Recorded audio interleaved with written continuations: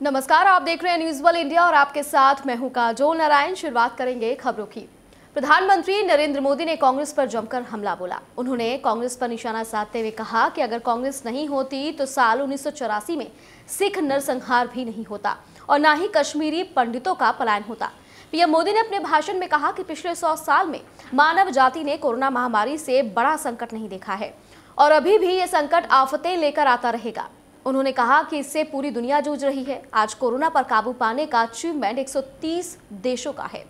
PM Modi ने corona vaccination programme की तारीफ़ करते हुए कहा कि आज पूरे विश्व में भारत के कामों की सराहना हो रही है। प्रधानमंत्री नरेंद्र मोदी राज्यसभा में राष्ट्रपति के अभिभाषण पर धन्यवाद प्रस्ताव की चर्चा का जवाब दे रहे थे। प्रधानमंत्री नरेंद्र मोदी ने संबोधित करते हुए कहा कि आज देश आज़ादी का अमृत महोत्सव मना रहा है। पिछहत्तर साल में देश के दिशा और गति देने का अनेक स्तर पर प्रयास किया गया। इन सब का लेखा जोखा लेकर हमें जो अच्छा है, उसे आगे बढ़ाना है और कमियों को दूर करने के बारे में सोचना चाहिए, ताकि हम आने वाले 25 साल में पिछहत्तर साल के गति से ज़्यादा तेज गति में देश को बहुत कुछ दे सके। आदरणीय राष्ट्रपति जी ने बीते दिनों कोरोना के इस कठिन कालखंड में भी देश ने चहु दिशा में किस प्रकार से इनिशिएटिव लिए, देश के दलित, पीड़ित, गरीब, शोषित, महिला, युवा, उनके जीवन को सशक्तिकरण के लिए, उनके जीवन में बदलाव के लिए देश में जो कुछ भी गतिविधि हुई है, उसका एक संक्षिप्त खाका देश के सामने प्रस्तुत किया और उसमें आशा भी है, विश्वास भी है, संकल्प भी है, समर्पण भी है। अनेक माननीय सदस्यों ने विस्तार से चर्चा की है। मान्य खड़गे जी ने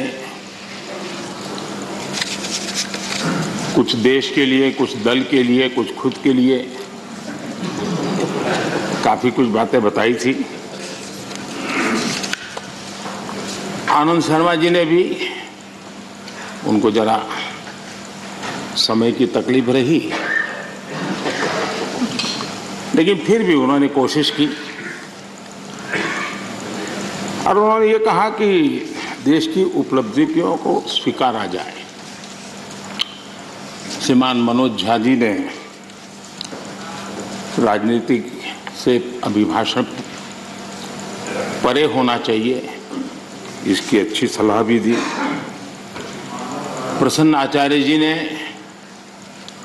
वीर बाल दिवस और नेताजी से जुड़े कामों के संबंध में भी विस्तार से सराहना की। डॉक्टर फौजिया खान जी ने संविधान की प्रतिष्ठा को लेकर विस्तार से चर्चा की। हर सदस्य ने अपने अनुभव के आधार पर, अपनी राजनीतिक सोच के आधार पर और राजनीतिक स्थिति के आधार पर अपनी बातें हमारे सामने रखी है।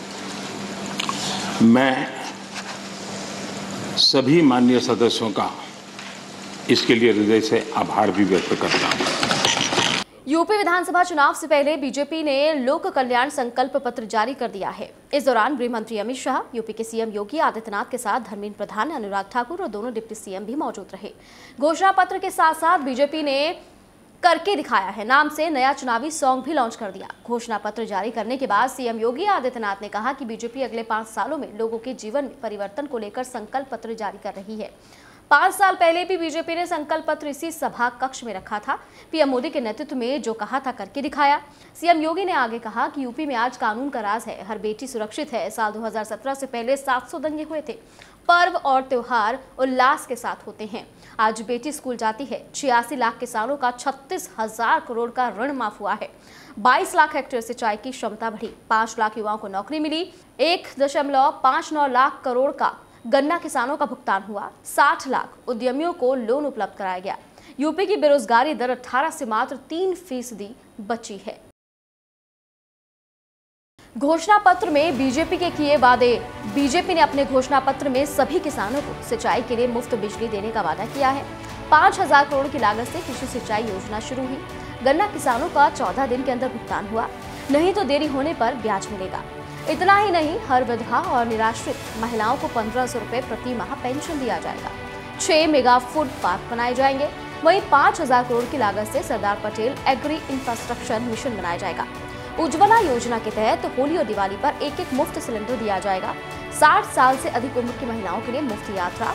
हर परिवार को कम से कम एक रोज़गार देंगे। एंबुलेंस और एमबीबीएस की सीटों को दोगुना करेंगे। लव जिहाद रोकने के लिए दस साल की सजा और एक लाख जुर्माना का प्रावधान।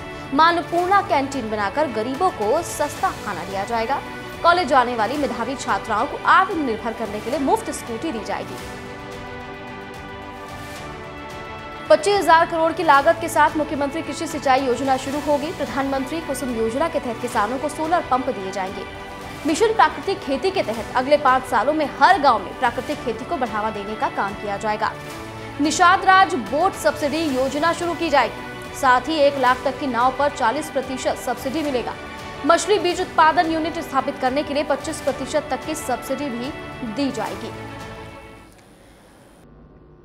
2012 से 2017 के बीच उत्तर प्रदेश में 700 से अधिक दंगे हुए।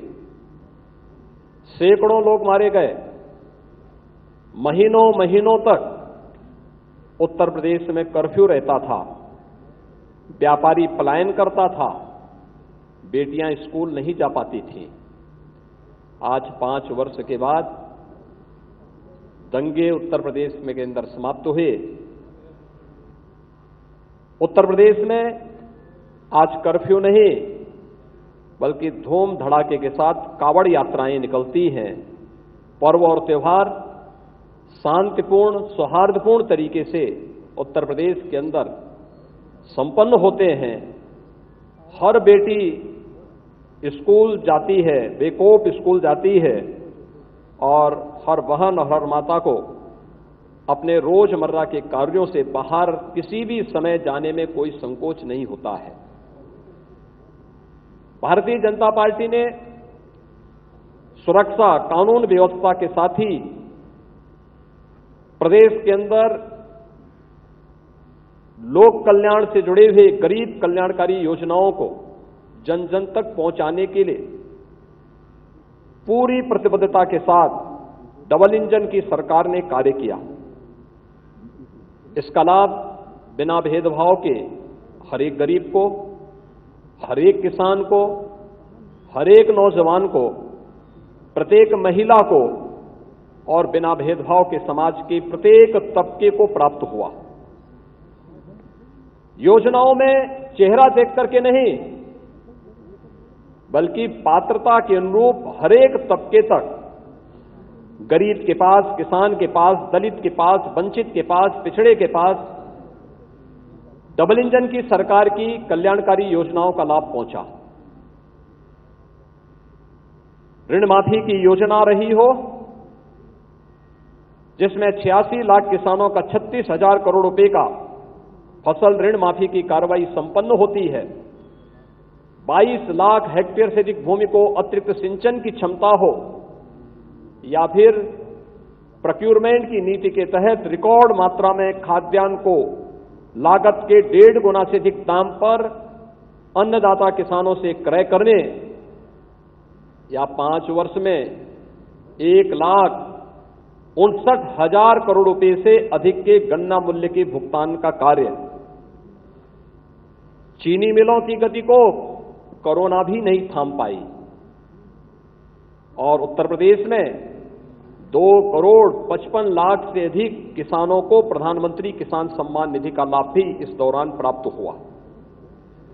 पाँच लाख नौजवान सरकारी नौकरी प्राप्त करते हैं। सुरक्षा और कानून व्यवस्था की बेहतर स्थिति के माध्यम से प्रदेश के अंदर हुए निवेश और आदरणीय प्रधानमंत्री जी और आदरणीय गृह मंत्री जी के मार्गदर्शन में परंपरागत उद्यम को प्रोत्साहित करने के लिए एक जनपद, एक उत्पाद की नीति और एमएसएमई सेक्टर को प्रोत्साहन का परिणाम था। एक करोड़ इकसठ लाख से अधिक प्रदेश के युवाओं को अपने ही प्रदेश में नौकरी और रोज़गार की सुविधा उपलब्ध हुई।